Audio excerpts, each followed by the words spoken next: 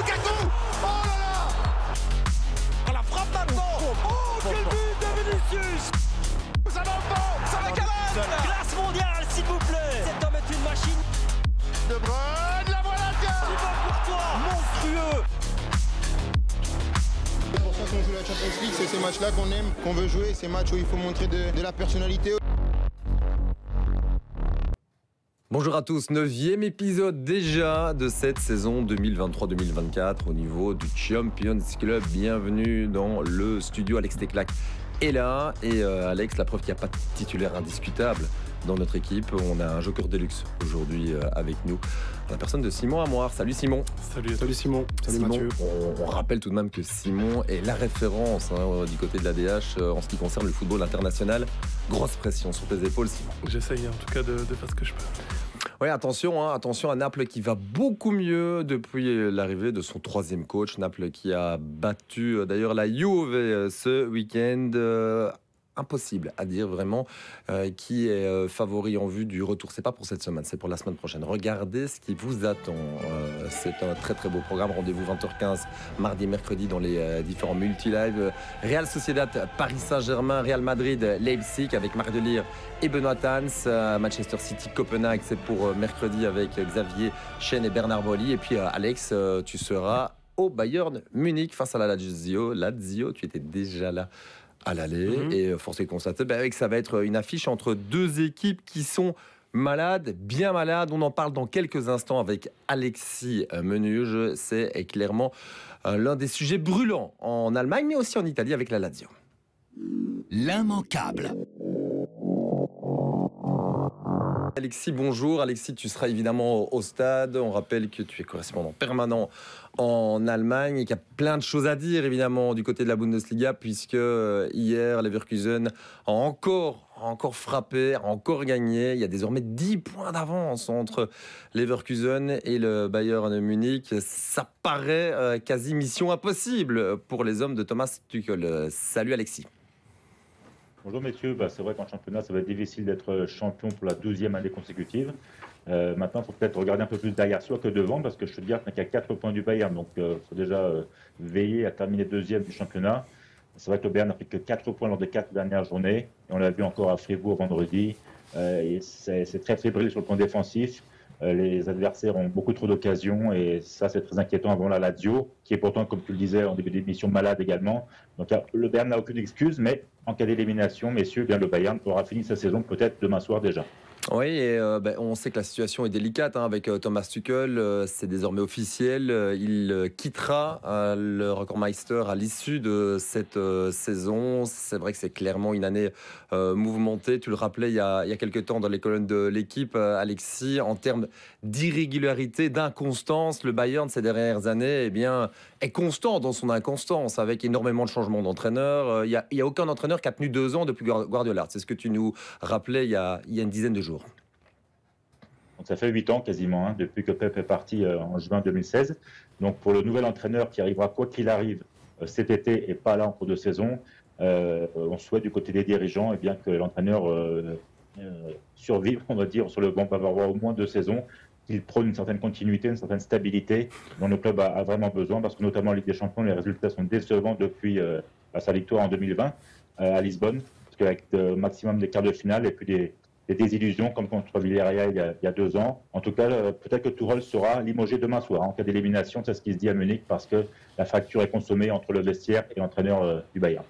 Oui, avec l'arrivée aussi, euh, Alex Teclac, d'un nouveau directeur sportif, en la personne de Max Eberl. dont Alexis va nous parler avec, euh, avec beaucoup, de, beaucoup Non, de je, détails. je- je charrie euh, Alex, Simon, heureusement qu'on a quelqu'un comme toi qui évidemment a une vision très claire sur ce qui se passe euh, aussi euh, en, en Allemagne. Bah oui, il y a un niveau directeur sportif. On sait que depuis euh, Sali Mazic était euh, parti, il n'y en avait plus Très un poste vacant. Ouais, Sali. Sali à Mizic. Ouais, Voilà, écoutez, c'est bien c'est fait, dit à ma c'était manière. bien. Bravo. Euh, il faut prendre des risques dans la vie et, et surtout préparer ses émissions. Si je me bien. retournais, parce que finalement ici, je pensais que j'avais un joker de luxe, je vais demander à Alexis, hein, Alexis ce qu'il en pense par rapport à Max Eberl. Max Eberl, euh, bon, euh, passé par euh, Mönchengladbach, hein, puisque vous, vous avez préparé votre émission. Par contre, ça s'est pas passé euh, plutôt bien du côté de, Leipzig. On rappelle que c'est un ancien joueur aussi et qu'il est en poste depuis vendredi. Bah, pour sa première vendredi, il n'a pas été gâté. Bon, euh, qu'est-ce que ça va changer dans cette structure bavaroise? Max Eberl, il a un emploi du temps déjà très chargé. Son quatrième jour euh, comme, euh, directeur du football, hein, parce que le directeur sportif, c'est euh, Christopher Freund. En fait, est le successeur de Salihamidzic, tout à fait, et il va avoir pour la mission bah, déjà trouver un nouvel entraîneur pour la saison prochaine, et ensuite de rebâtir en grande largeur l'effectif avec beaucoup de chantiers qui l'attendent aussi le centre de formation, parce que ça fait longtemps que des jeunes talents ne sont sortis du centre de formation du Bayern et qui se sont imposés chez les pros. Donc voilà, beaucoup de stress déjà pour lui.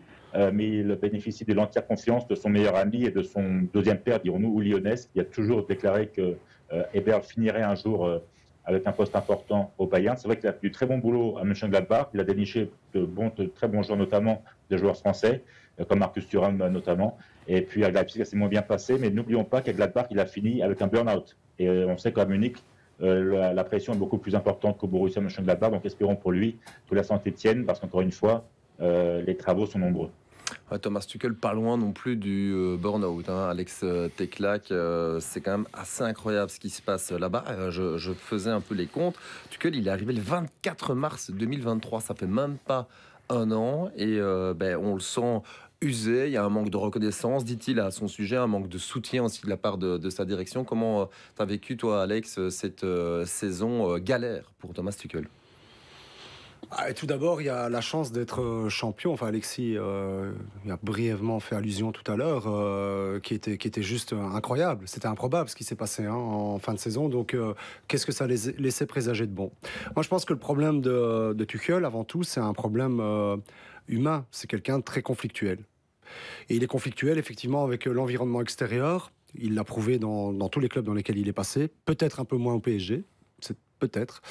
Mais encore, il faut le dire vite, et surtout avec l'environnement interne. Il a des problèmes avec les joueurs, il les crée lui-même.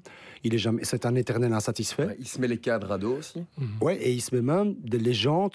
Alors, on en pense ce qu'on veut des consultants, mais quand tu, quand tu te mets Mathéus comme il se l'est mis à dos le jour où il déconne complètement, le jour de cette conférence de presse, où Alexis, je pense que tu, as, tu y as déjà fait référence aussi, par le passé, mais bien sûr qu'il se tire une balle dans le pied. Il faut quand même. Ok, il a, il a gagné une Champions League et il faut lui laisser. Il a, il a déjà un palmarès. Tous les entraîneurs ne peuvent pas en dire autant, c'est vrai. Mais je trouve quand même que parfois, il joue un rôle qui n'est pas le sien, Mathieu. Simon. Il surjoue à certain moment Je trouve. Et en plus, le problème qui lui colle à la peau, je ne veux pas du tout être discriminatoire par rapport à ce que je vais dire ici, mais c'est qu'il n'a pas une carrière brillante de joueur de football. Donc, il faut faire les choses autrement. Et donc, parfois savoir faire preuve d'un peu de modestie. Et je pense que ce qui agace fortement les gens, l'entourage, peut-être même parfois avec exagération de la part de certaines personnes, ok, parfois on manque un peu de réserve à son égard, c'est ça, c'est cette forme d'arrogance qui qu'il entretient de manière permanente dans ses discours et, c'est vrai que ça peut, ça, peut, ça peut irriter, ça peut être agaçant. Simon, tu es d'accord avec ça? Tuchel un peu trop arrogant? Oui, d'ailleurs, on a l'impression qu'il va encore plus se lâcher maintenant, euh, en tout cas dans les médias, depuis, depuis cette annonce de départ en fin de saison. Il a dit qu'il serait plus impitoyable par rapport à, à ses joueurs, notamment euh, ce week-end. Vendredi, après le match, il, il dit que ses joueurs étaient indisciplinés, il n'a pas hésité à vraiment critiquer certains. Euh, lui-même fait toujours un, peu la victime, évidemment, en disant que c'est de sa faute, il assume ses responsabilités. Mais c'est vrai que maintenant, on sent qu'il va encore plus rentrer dans, ses joueurs. Et mhm. on le disait, des cadres euh, décevants, euh, il y en a beaucoup qu'on n'a pas vu. Et, j'ai envie de faire un, peu le parallèle avec la Mannschaft de, ce qu'on a vu en 2023, qui était catastrophique. C'était bah, principalement les, mêmes joueurs qui sont mhm. sous-performants au Bayern. Et, et, dans la Mannschaft, on sait que la Mannschaft, c'est 70 c'est quasiment 70% euh, de, joueurs du Bayern et de Dortmund. Et, pour le coup, donc ça veut dire quand même qu'il y a aussi certains joueurs qui devraient euh, pouvoir se remettre en, question. Alexis, euh, quid de Tuchel, tu le disais, en cas de défaite, ça pourrait déjà être terminé. il se murmure en coulisses qu'il rêve la première ligue et toi qui es bien informé, manifestement, il suit des cours d'espagnol. C'est vrai ça? Oui, il, en prend depuis plusieurs mois déjà avant qu'il signe à Munich. Euh, bon, déjà, il va encaisser un joli chèque euh, cet été ou peut-être dès, mercredi matin. On parle de près de 20 millions d'euros en incluant son staff euh, technique, donc ses adjoints. Et puis ensuite, je ne me fais pas de soucis pour lui. Hein. Cet été, soit il rebondira à Barcelone, mais soit plus, probablement à Manchester United, sachant qu'en Angleterre, il bénéficie d'une très belle image par rapport à la trace qu'il a laissée à Chelsea. D'ailleurs, depuis qu'il a quitté les Blues, il n'avance plus beaucoup là-bas. Donc, c'est sûr qu'il va retrouver un poste très ambitieux et euh, peut-être même plus vite que la désignation du prochain entraîneur du Bayern. Oui, euh, on parle forcément d'un prochain entraîneur. Euh, bah, il suffit de regarder ce qui se passe en haut, tout en haut de cette Bundesliga avec Xabi Alonso. Bah, Xabi Alonso, il est clairement aussi sur les, tablettes. Tu l'imagines, toi, Xabi Alonso au Bayern, Alex? Ah ouais, complètement. Ah ouais, complètement. Moi, je trouve que ce serait. Bon, c'est vrai qu'il y a beaucoup de Pep Guardiola dans ce qu'il a fait. À l'époque, on a reproché à Pep d'avoir complètement formaté cette équipe du Bayern qui n'était plus euh, le Bayern euh, rouleau compresseur. C'était une équipe vraiment avec du style. De toute façon, quand on prend Guardiola comme entraîneur, je pense qu'on achète avant tout aussi un style. Et, les Citizens sont bien placés pour le, dire aussi. est-ce que c'est possible, Alexis Est-ce que c'est possible? J'imagine que là aussi, il faudra délier les, cordons de la bourse hein, pour euh, s'attirer les services de Xabi Alonso. Bah, sachant qu'il est sous contrat encore jusqu'en 2025, donc il faudrait euh, déployer quelques 20-25 millions d'euros, qui serait euh, à peu près le prix qu'a dépensé le Bayern pour Nagelsmann euh, à l'époque. Mais personnellement, j'y crois pas à Alonso, déjà parce que lui est davantage attiré par la succession du Jurgen Klopp à Liverpool. Et il ne se pas avec les Reds, il pourra rester une saison supplémentaire au Bayern Leverkusen et ensuite rebondir au Real Madrid, deuxième club dont il rêve puisqu'Ancelotti pourrait s'arrêter en 2025. Mais c'est vrai que c'est la priorité des dirigeants du Bayern, mais je pense que le prochain entraîneur ne sera pas Xabi Alonso. C'est vrai qu'on arrive à un tournant hein, au niveau du football européen. Il y a plein de grosses cylindrées comme ça qui cherchent des, entraîneurs. Il y a le Barça, il y a Liverpool, il y a le, Bayern. Bon, t'as postulé toi, Simon? Pas encore, pas encore. Je m'entraîne d'abord à Football Manager. c'est pas mal, c'est pas mal. Mais, c'est vrai que c'est quand même un, moment clé hein, dans, le football moderne quand on voit autant de grands noms euh, comme ça qui sont cités à gauche et, à droite. Surtout de clubs qui vacillent aussi. Mais euh, Alexis n'avait-il pas parlé aussi de, de Flick au Bayern. Flick au Bayern, hein. euh, non, Flick au Barça. Flick, euh, c'est le nom qui, revient aussi régulièrement. Alexis, peut-être un petit point par rapport à Flick qui est cité un peu partout finalement. Oui, mais pas au Bayern. Hein. Ça, c'est exclu parce qu'en en fait, il s'est chamaillé notamment avec Uli Hones, même si Uli n'est plus au club euh, tous les jours, puisqu'il n'est plus que président d'honneur. C'est quand même lui le patriarche du club. Et donc, il n'y aura pas de retour de Hansi Flick. Moi, je pense plutôt que le prochain entraîneur serait effectivement étranger.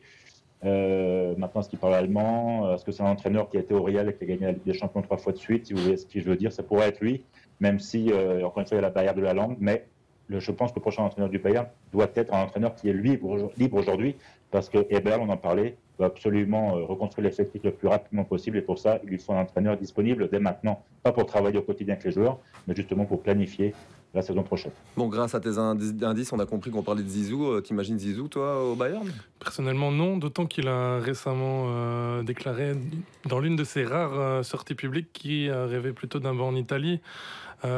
pour sa, grande reprise qu'on attend maintenant depuis des années. refuserait le Bayern Je ne sais pas. Comme, comme le disait euh, Alexis, la, barrière de la langue. Euh. Là où euh, je suis Alexis dans le raisonnement, c'est que bon, ils ont pris Nagelsmann, ils ont pris Tuchel, qui sont des entraîneurs quand même entre guillemets très théoriciens, plus jeunes Nagelsmann que, que, Tuchel, effectivement, aussi assez conflictuels. Hein, ça, c'est un, de leurs points communs, je trouve.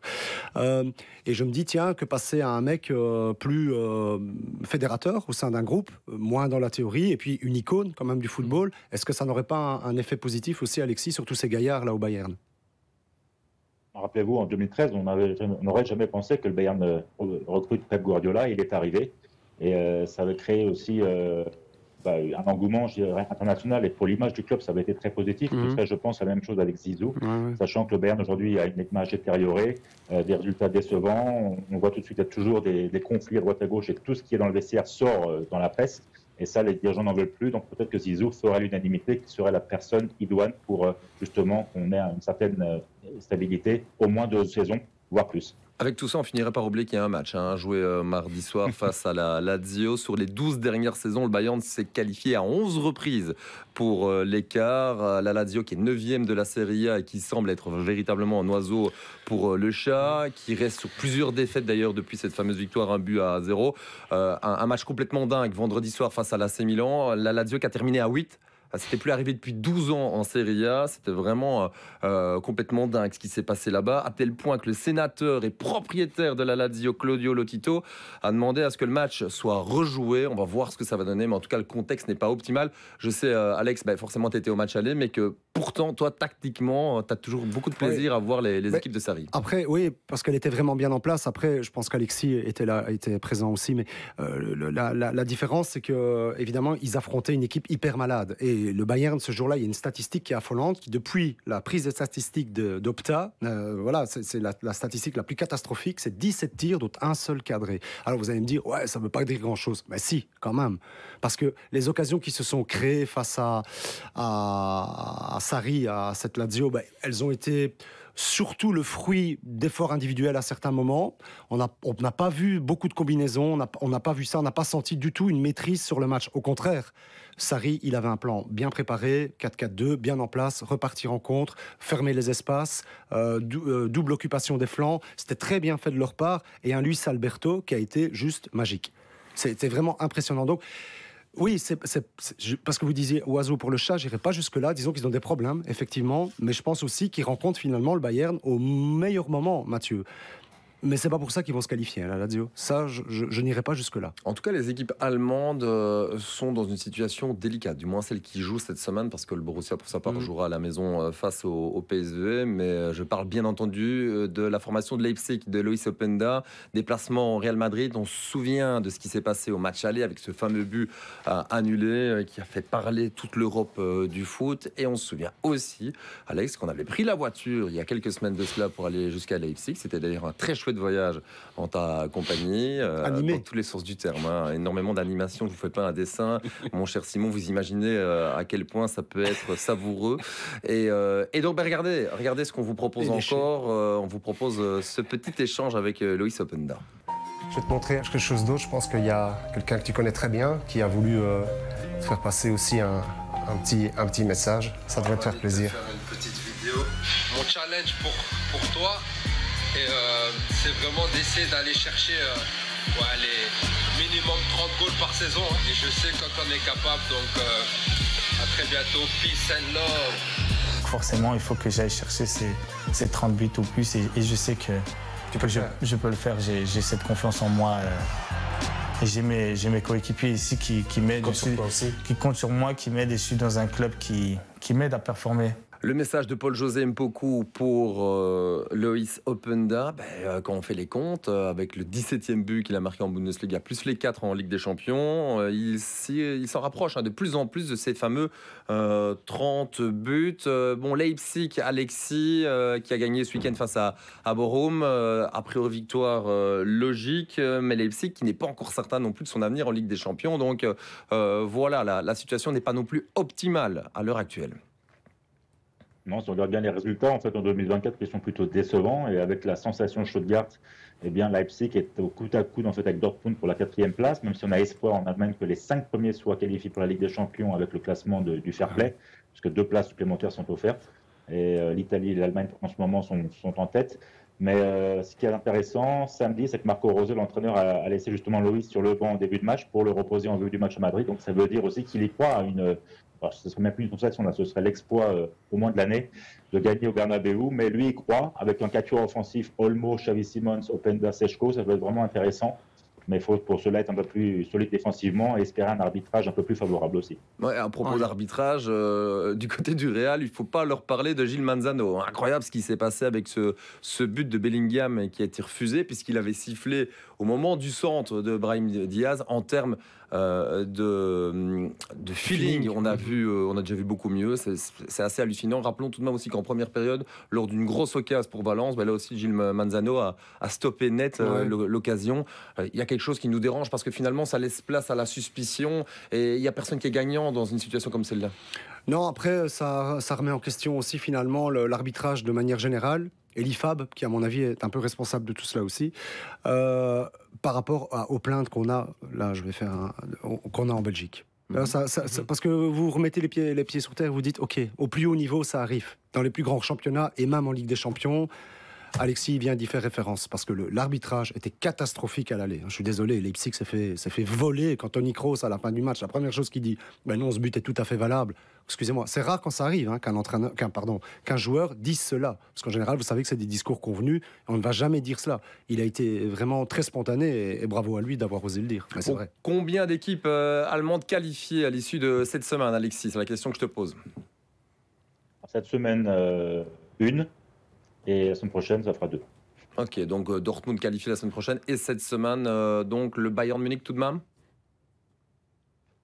Qui sait Elle n'ose pas trop se mouiller. Hein, Ouais, mais Alexis, je crois qu'il a raison. comprendre. Non, mais je crois peux que comprendre. Je crois que ce sera Bon, euh, Alexis, euh, mardi soir, donc, une bière, hein, une grande bière, euh, te sera offerte par Alex Teclac. Tout à fait, oui. Parce qu'il faut savoir qu'il note, il note toutes les infos que tu nous Bien sûr. dévoiles. Mais- Et après, ben, Non, ben, je- finalement, tu devrais, quand- tu devrais quand même le remercier en direct. Oui, non, mais ça, je l'ai déjà fait, parce que évidemment, on, on s'échange en plus des messages, voilà, pour comme ça, je vais rentrer dans l'intimité de ma relation avec Alexis, et ça vous fait bien râler, d'ailleurs. Non, non, mais euh, merci beaucoup, et je le dis très honnêtement, euh, vraiment, il est super bien informé, il fait super bien son boulot, et c'est bien aussi de le dire parfois. Donc, Allez, voilà. ça fait du bien de commencer une semaine comme ça. Alexis, on vous met aussi dans les meilleures conditions hein, pour euh, faire en sorte que la semaine soit bonne. Merci Alexis, à bientôt. Merci à tous, bonne semaine et bon match. Merci, c'est vrai qu'il y a encore plein de choses à dire hein, dans ce Champions Club. euh, et euh, ben, euh, c'est une première pour Simon Amoir. Il va sortir son costume d'entraîneur, puisque vous le savez, peur. depuis le début de l'année 2024, eh bien, pourquoi, pourquoi je vous ai fait peur? Mais fait peur. Vous faites peur, vraiment, vous faites peur. Racontez des costume. histoires dans la voiture. On, on est ici en pleine période de carnaval, donc c'est sortir quand même son logique costume, qu'il se déguise en entraîneur. Il va se déguiser, Simon, en Domenico Tedesco. La compo de Domenico. Allez, sortez votre tenue euh, d'entraîneur, mon cher euh, Simon. C'est une première, il y a une pression, il faut l'assumer. Sortez-nous ça. L'accent- italo-allemand. Non, Anglais, pas dans la caricature. La compo, il faut l'expliciter. Elle est, elle est là. hein. Euh, on, Voilà. on y va. Moi, pour, euh, pour cette semaine, euh, je mets euh, étonnamment Svillard au but euh, pour le, le récompenser de, de son passage en tant que... Millet Villard, donc Voilà. Paradco. hein. Oui, oui, le, le fils évidemment de son passage en tant que numéro 1 maintenant à la Roma. Il enchaîne vraiment bien les, les performances et d'ailleurs, il est, si on compare aux, autres diables, aux autres gardiens actuels des Diables, il est, euh, il est meilleur dans toutes les Donc stats. Castagne, Théâtre, Debasse, Meunier, Onana, De Bruyne, Mangala, Doku, Bakayoko, Lukaku. Euh, J'ai envie de te faire réagir par rapport à Meunier, euh, par rapport à Debasse, parce que ça peut créer aussi euh, quelques discussions en, coulisses. Et puis, euh, bah ouais, il y a quand même un quatuor de rêve là. Doku, Bakayoko, De Bruyne, Lukaku. Et donc Openda comme, comme joker, c'est ça l'idée? Oui, euh, c'est d'ailleurs ce qu'il ce qu'il fait souvent très bien. Mm. Euh, Meunier à droite euh, parce qu'il revient bien et il a enfin du temps de jeu et peut enfin rentrer dans le rythme où il a très besoin de sport. Du coup, Castagne à gauche, euh, ce qui permet à Théâtre de revenir dans son rôle initial de défenseur central qu'il occupe à- à Rennes. Euh, de Bast à ses côtés parce qu'il est euh, en bonne forme avec Anderlecht simplement. Et devant, effectivement, euh, ben, un beau trio, même si on, on pourrait aussi mettre Carrasco. Euh, c'est difficile de l'enlever, mais C'est bien balancé quand même pour bien. une première. hein. Il est ça. inspiré. Il est inspiré. Bon, plutôt de bons arguments en plus. euh, Non, c'est bien, c'est bien. Simon. Franchement, bien- Simon, très bien euh, sorti. à là. ce rythme-là, Simon, tu reviens la semaine prochaine pour euh, nous prévu. proposer une autre euh, compo. Oui, euh, tu, tu te reviens, quoi qu'il Voilà, bon, c'est bien, c'est bien. Euh, Avec tout ça, euh, Alex, la dernière fois, je me souviens que Openda était titulaire dans la compo euh, d'Alex Ouais. Teclac slash Domenico Tedesco. Voyons voir ce que ça donne cette fois-ci. Alors, tu nous expliques tout cela? Ouais, alors, euh, bah, j'ai pas changé grand-chose, j'ai juste inclus euh, De Bruyne, effectivement, dans, dans le schéma.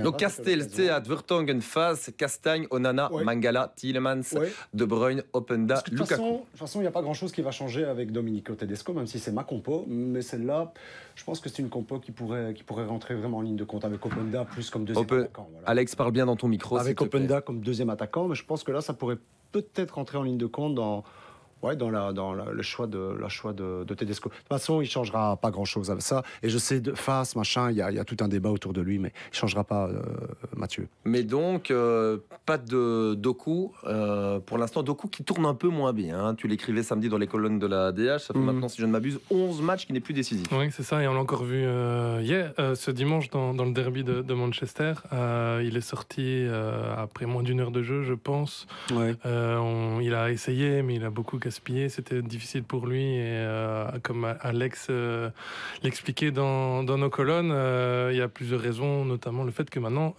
tout le monde commence à le connaître en Angleterre, et aussi euh, le fait qu'il rentre euh, bah, dans, dans des normes qui, qui sont les siennes finalement, Ouais. qu'il était en, un peu en sur-régime en Ouais. début de saison. Maintenant, ça, ça redevient la normalité, on va dire. Ouais, et puis, il a été aussi exceptionnel lorsque Haaland n'était pas là. Et C'est donc, euh, bah oui, euh, désormais, était sur lui. ouais. il faut, euh, bah, il faut se recycler. C'est peut-être aussi ça le challenge hein, pour lui. Euh, il doit apporter plus de variété dans son jeu. C'est ça l'objectif? Ouais, c'est un type de dribbleur, effectivement. On sait comment il va dribbler, on sait comment il va le faire. Euh, C'est pas pas un gars qui dribble sur le timing. C'est un gars qui, je t'en avais parlé, Simon, c'est un gars qui dribble sur la puissance, l'explosivité, et il faut l'avoir parce qu'athlétiquement, c'est vraiment un, champion. Bon, a priori, de toute façon, cette équipe de City, elle est qualifiée hein, pour l'écart. Voilà, je crois qu'il n'y aura pas de souci. 1-3 face à, Copenhague. Copenhague qui a perdu face à Midtjylland ce week-end. Je sais que tu as suivi le match de près, hein, Alex. Que faut-il en, ressortir de cette rencontre? Euh, Que euh, un jour, j'ai été rendre visite à Ariel Jacobs qui entraînait euh, Copenhague, le grand Copenhague de l'époque. Voilà. Bon, tout ça pour dire que le Rager est blessé. Oui. le Rag. Ancien joueur, le Rag. C'est pas comme ça qu'il faut le dire, hein, mais bon, je, je ne m'y risquerai pas. L'ancien joueur de Zulper Game, effectivement. Ouais. bon, voilà. A, priori, il pourrait faire tourner Pep Guardiola à suivre donc cette semaine sur les antennes de Pix plus Sport. On poursuit le débat avec un Citizen, avec un certain KDB. Noir, jaune, rouge. Oui, parce que les chiffres font mal à la tête, euh, Simon. C'est le moment justement de faire une petite piqûre de rappel. Euh, la semaine dernière, ça avait été particulièrement impressionnant face à, à hein, avec le, quintuplé certes de Alan, mais euh, les quatre passes décisives de Kevin De Bruyne en 15 ans de professionnalisme, ça ne lui était jamais arrivé. Ça lui était jamais arrivé. C'était arrivé à Jérémy Doku en, début de saison. Lui, ça ne lui était jamais arrivé. Donc c'est chose faite. Il peut barrer ça dans sa to-do list. Mais c'est vrai que depuis son retour au mois de janvier, KDB, c'est 11 assists, un penalty provoqué, deux buts euh, en seulement 688 minutes, parce qu'il euh, revient petit à petit dans le coup.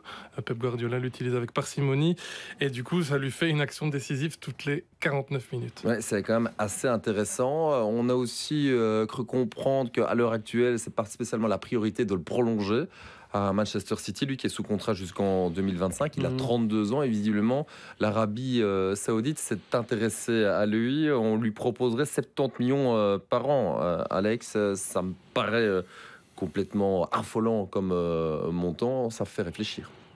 Ouais, bon, bon après c'est pas plus affolant que d'autres. on est bien d'accord que c'est, oui, c'est indécent même plutôt comme, comme chiffre, mais ça n'est pas plus ça fait réfléchir. Donc voilà, à partir du moment où il n'est il est pas prolongé ah, à l'heure actuelle, ça doit quand même entrer dans, dans sa réflexion. Ah évidemment. Réflexion. Ben, oui, c'est ça.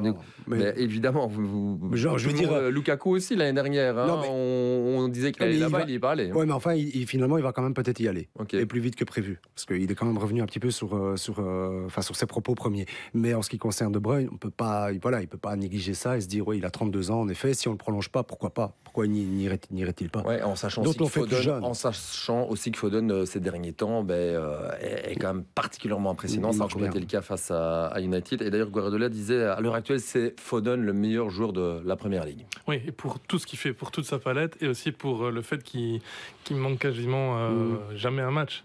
Euh, je pense qu'il est à 40 matchs déjà euh, joués cette saison sur les 42 possibles avec City. Euh, c'est lui qui joue le plus en termes de minutes, même plus que le gardien à Manchester City. Il, il, joue à droite, il joue au centre, il peut dépanner à gauche. On pourrait le voir à la place de, Doku en Ligue des Champions cette semaine à gauche pour mettre Alvarez au centre, par mhm. exemple. Il peut, il peut tout faire et effectivement, il est en, très grande forme. Il a 17 buts. Il n'avait jamais marqué autant sur une saison. Ouais, c'est assez incroyable ce qui se passe là-bas, même si c'est Liverpool hein, qui est toujours en tête de cette première ligue avec 63 points devant les Citizens 62 points. Et donc, on va là aussi poser la question qui fâche, ou en tout cas qui va animer euh, le débat. Elle concerne Kevin De Bruyne. Choisis ton camp. Et la question, elle est simple, sur base de tout ce que vient de nous rappeler euh, Simon Amoir, sur base de ces chiffres qui sont euh, terriblement effrayants en ce qui concerne euh, Kevin De Bruyne. Est-ce que Kevin De Bruyne a déjà été aussi fort depuis le début de sa carrière Réponse Alex Teclé. Alors il l'a déjà été. Hein. C'était un soir de, je vais le rappeler euh, gentiment, un soir de, de septembre 2017 face au Shakhtar. Je ne sais pas si tu te souviens de sa patate là, pied, pied droit là. face au Shakhtar. Euh, face au Shakhtar. Mais enfin, ça, ça permettait, ça, permettait d'asseoir cette victoire ce, jour-là. Non allez. Blague à part, ceci dit, par la suite, c'est que dire de ces trois grosses saisons en Première Ligue 19-20, 21-22, 22-23, deux fois élu joueur de la saison. Ça va, il détient toujours le record d'assises. D'ailleurs, je pense qu'il en avait marqué 20 euh, si je ne m'abuse. Bref. Euh, je crois que quand on évoque souvent euh, Kevin De Bruyne, ben, on évoque évidemment le passeur d'exception qu'il est, qu'il a été, qu'il le sera, qu'il sera toujours. Mais il avait le moteur qui, suivait également. Et je me rappelle de cette rencontre face au Brésil en 2018 avec nos Diables. De qui parle-t-on ce jour-là bah, Un match incroyable de la part d'Eden Hazard. Ouais, sauf que celui qui marque, c'est De Bruyne, et que ce jour-là, c'est une masterclass qui nous délivre. Mais elle a été occultée, effectivement, par le choix tactique de Tedesco, mais surtout par le fait que Lukaku et Eden avaient été très bons aussi, alors qu'il avait été vraiment le dirigeant de cette équipe euh, ce, ce, Voilà, ce jour-là. stop, stop. Il y avait d'autres arguments? Il y en a un que je, Non, par non, lequel non, je voudrais terminer. stop. Non, mais c'est, tu l'as cité. Je, allez, je, bon triche, je triche un tout petit peu. Non, mais et je suis très sérieux. Ça va entrer en ligne de compte Ouais, lorsqu'il faudra juger Je- qui est le Je suis vainqueur. très sérieux là. Mais quand l'Arabie Saoudite commence à te faire les yeux doux, tu peux te dire aussi que voilà et qu'on le prolonge pas. Je veux dire, son corps est en train un petit peu de le lâcher. Ouais, voilà. mais même si Voilà. c'est transformé aussi hein, au niveau Ouais, du corps. Mathieu, mais- Il donne l'impression d'avoir plus faim que jamais. Très bien, on a Mathieu, entendu les arguments voilà. d'Alex Teclac. Simon Amoir, c'est à vous, la pression est à son paroxysme. Oui, donc moi je dis oui, euh, parce qu'à 32 ans, il est comme Évidemment. le bon vin et blablabla, on connaît la chanson. Mais plus sérieusement, euh, 32 ans, on regarde sa valeur marchande, c'est juste une estimation, et etc. Et ça vaut ce que ça vaut. 60 millions d'euros à 32 ans. Quand on regarde Neymar, Van Dijk, tous les autres qui ont 32 ans, Casemiro, Griezmann, ils sont entre 25 et 40. Voilà, il a 20 millions de plus, c'est juste des estimations, mais ça donne déjà une idée de ce que représente Kevin De Bruyne à 32 ans. Amoir, toujours Ah. euh, très très vénal dans ses analyses. Exactement. Cette saison, de- depuis son retour, euh, 12 assists en 12 matchs. C'est le meilleur passeur de son équipe alors qu'il a joué trois fois moins que les autres. Euh, déjà ça. Euh, S'il avait joué une saison entière, on n'imagine pas qu'il aurait aisément battu son record de, de 25 assists. Euh, on peut aussi ajouter son, son record de 4 assists en un match qu'il n'avait jamais réalisé. Il l'a fait cette année. Euh, il l'a répété, il veut prendre aucun risque physiquement et ça aussi, il faut le mettre en avant. Maintenant, il joue des briques de match et justement, il a cette faculté euh, désormais à rentrer directement, à être directement décisif en très peu de temps. D'ailleurs, euh, je l'ai dit juste avant, Stop, il est stop, décisif stop, toutes les Allez, 49 tu peux. minutes. Oui. Euh, ce Il a que- essayé. Il a ce que. Kane, Mbappé, les deux autres joueurs d'Europe les plus décisifs en termes de, de régularité par minute, eux, ils sont autour de 70. Kevin De Bruyne est à 49. Ce que je vais, ce que je vais faire? Je vais tenter de vous départager. Je vais le faire d'ailleurs. Pour moi, bah, il est aussi fort qu'avant. C'est vraiment le sentiment que ça me donne. Même si c'est plus vraiment le même joueur au niveau de son langage corporel, ce fameux langage, langage corporel cher à Alex Teclac, on a le sentiment qu'il a de nouveau faim et qu'il a retrouvé du plaisir à jouer. C'était pas spécialement le cas ces dernières semaines, ces derniers mois. Euh, visiblement, ben, euh, il n'a plus mal non plus. Et un joueur qui n'a plus mal, eh bien, euh, ça se voit pour lui. sur le terrain. Bon, c'était intéressant comme d'hab. Maintenant, on espère que l'histoire, la belle histoire du jour, sera tout aussi intéressante. Elle est signée La belle histoire.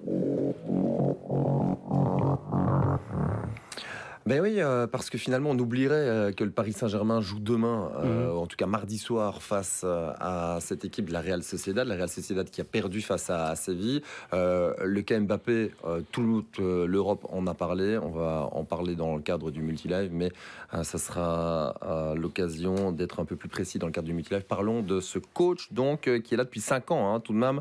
Vous nous rappelez le parcours d'Imanol Alguacil.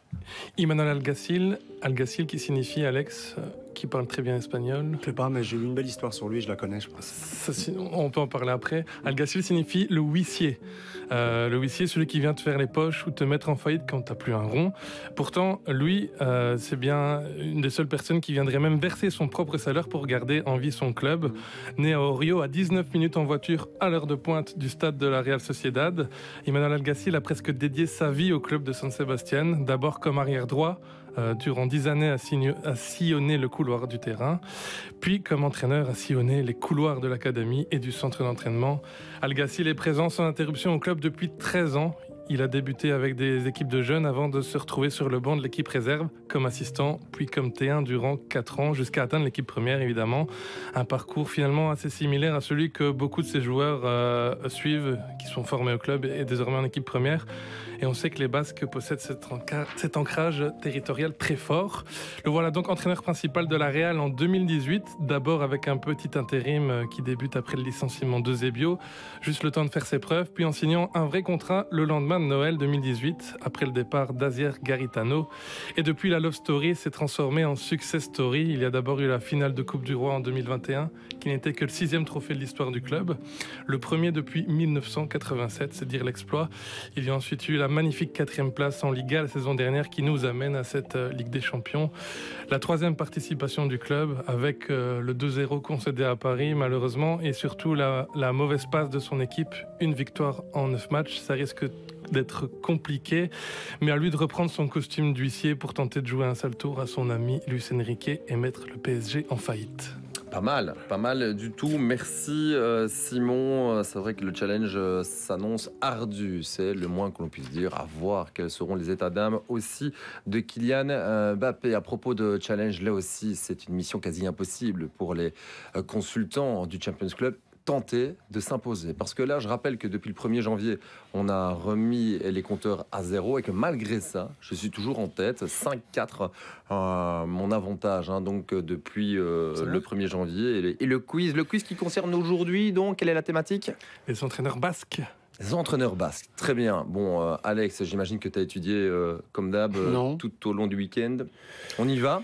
En deux minutes? Oui, parfois c'est assez simple. hein. Alors, le premier, je suis né à San Sebastian, j'aurai bientôt 42 ans, même si j'ai joué une saison à la Real Sociedad plus tard dans ma carrière. C'est au Barça que j'ai été terminé ma formation. Après l'Espagne, il y a un passage au PSG, puis en Écosse, j'ai pris la direction de l'Angleterre, où j'ai explosé à Everton. Arteta? Bien, Arteta. et- et- égalité 5-5. J'ai deux clubs en commun avec le précédent. Donc euh, avec Arteta, le PSG et Arsenal, je suis célèbre pour avoir réussi pas mal d'exploits, notamment en Ah, Europa Emery. League. Unai Emery, eh bien écoutez, voilà, il aura fallu attendre le début du mois de mars. Oh. C'est la première fois depuis le début de la saison que les Tu veux bien arrêter, s'il te plaît, je me concentre, ah, s'il te plaît. Merci, merci. Non, parce que tu veux me déstabi- déstabiliser. Vas-y, continue. En profiter, c'est tellement je- rare. Alors, comme Unai Emery, j'ai remporté l'Europa League. C'était avec un club en grande difficulté en championnat que j'ai rejoint en cours de saison. Assez méconnu du grand public, avant cette étape, j'ai été viré il y a quelques semaines et j'ai aujourd'hui rebondi dans, re- rebondi dans le plus grand club de Grèce. Non. J'étais la saison dernière à Séville. Ah oui. Euh, Mendilibar. Mendilibar. Mendilibar, ouais. 5-5. Le quatrième, j'ai 74 ans. 5-5 On est plus 6-5, ancieux. Je suis On est perdu, la régie nous aidera. J'ai 74 égalité. ans. J'ai terminé ma carrière d'entraîneur en prenant la tête symboliquement de l'équipe du Pays Basque, qui existe effectivement. Durant ma période dorée dans les années 80, j'ai gagné deux fois la Liga avec Bilbao, mon club de cœur. J'ai aussi entraîné l'OM et trois sélections, la Serbie, le Cameroun et la Libye. Non, ça. euh, Merci pour tous ces Ouais. indices, le Cameroun et la. Libye. ouais, je- Clément. je- honnêtement, j'ai pensé à lui, mais j'ai pas osé le dire. Ouais, bah bon. C'est terminé Parce que comme ça, on a reste égalité. deux, en reste vous les rapidement, partager. rapidement. Ouais. Alors en ce moment, tout le monde se bat pour essayer de m'avoir. Xabi Alonso. Xabi Alonso. Ouais, parfait, parfait. Allez, euh, ils sont ai devant. encore, ils sont hein. devant. Mon oncle Ander est une légende de Bilbao et de Saragosse. Moi, j'ai aussi entraîné l'athlétique, mais je dirige aujourd'hui un autre club de Liga où évolue un Belge. Et vu mes résultats, ma présence relève du miracle. Herrera? Il est l'entraîneur de Almeria, Ah oui, euh, pff, ouais, je sais pas. Gesca Garitano. Ouais. Bon, en, en attendant, les consultants sont devant. Et Ouais, c'est non. ce qu'on retiendra. Merci Simon Amoir. Avec à, plaisir. à la semaine prochaine. Excellente semaine euh, à vous. Alex, euh, c'est toujours un, un plaisir et j'espère que vous avez profité euh, de ce Champions Club Multilive mardi, mercredi. Flashback évidemment sur les réseaux de Pix Sport. C'est dès jeudi après-midi. Bonne semaine. Ciao.